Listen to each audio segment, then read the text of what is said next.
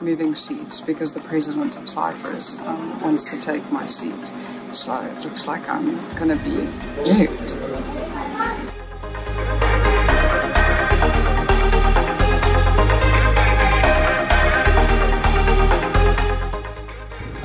Hashtag, uh, hashtag, what's your hashtag?